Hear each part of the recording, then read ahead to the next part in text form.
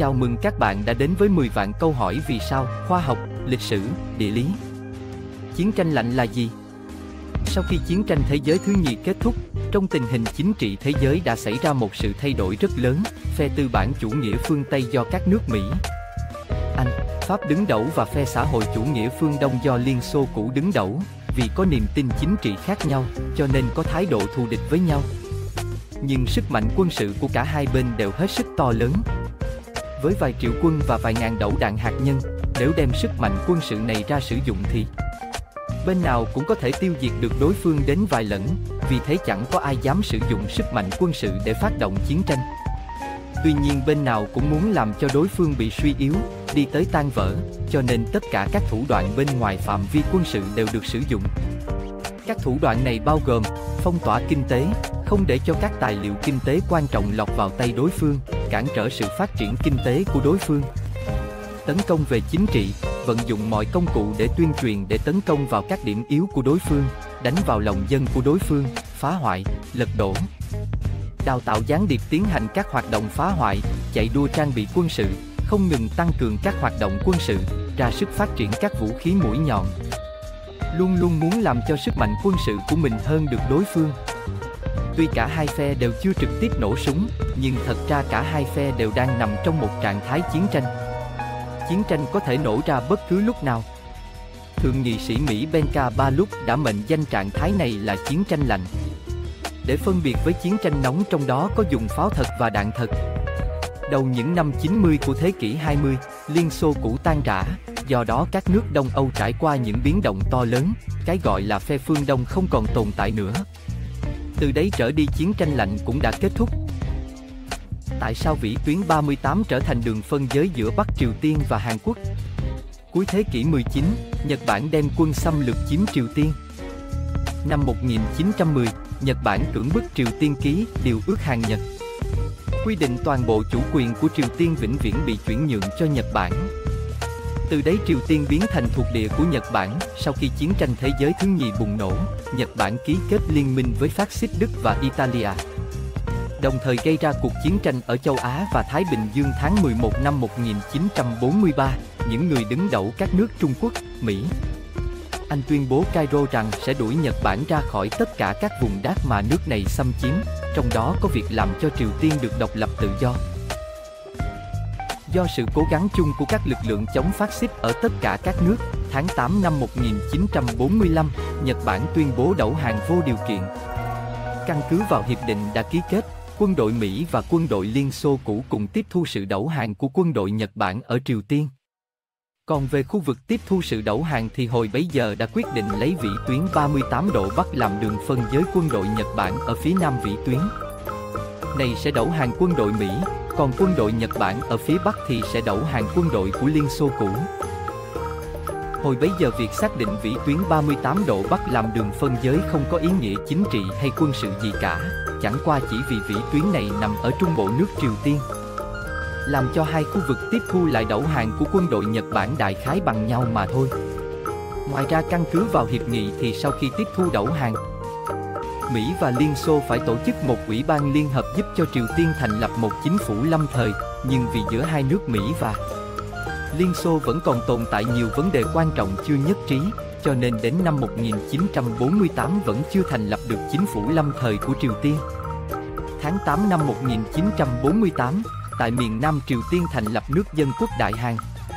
Tháng 9 năm ấy, ở miền Bắc Triều Tiên thành lập nước Cộng hòa Dân Chủ Nhân dân Triều Tiên. Vì đây là hai chính phủ có tính chất không giống nhau cho nên khó cử hành được cuộc phổ thông đậu phiếu toàn dân tộc.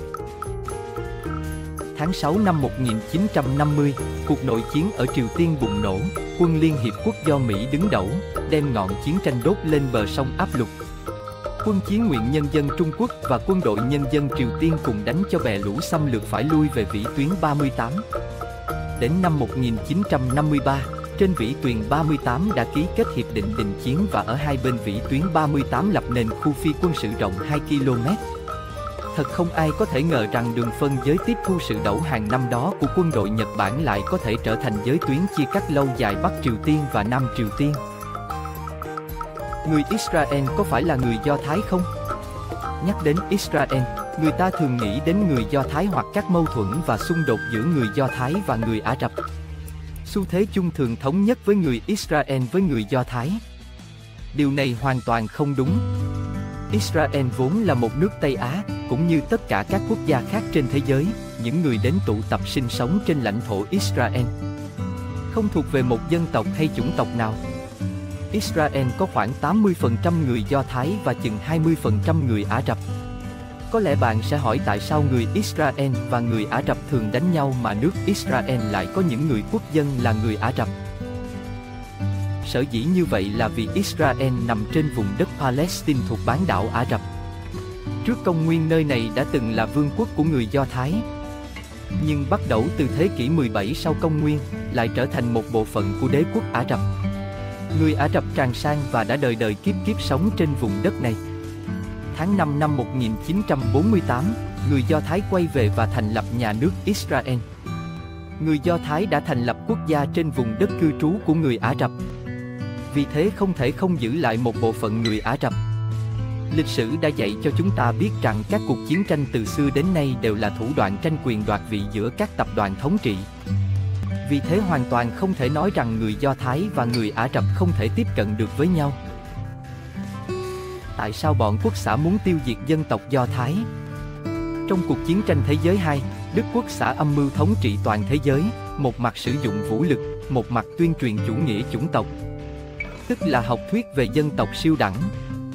Chúng cho rằng dân tộc mần dòng dõi chính thống của người Aryan thượng đẳng, còn người Do Thái là chủng tộc hạ đẳng nhất. Do đó Đức Quốc xã coi việc tiêu diệt người Do Thái là một mục tiêu chủ yếu.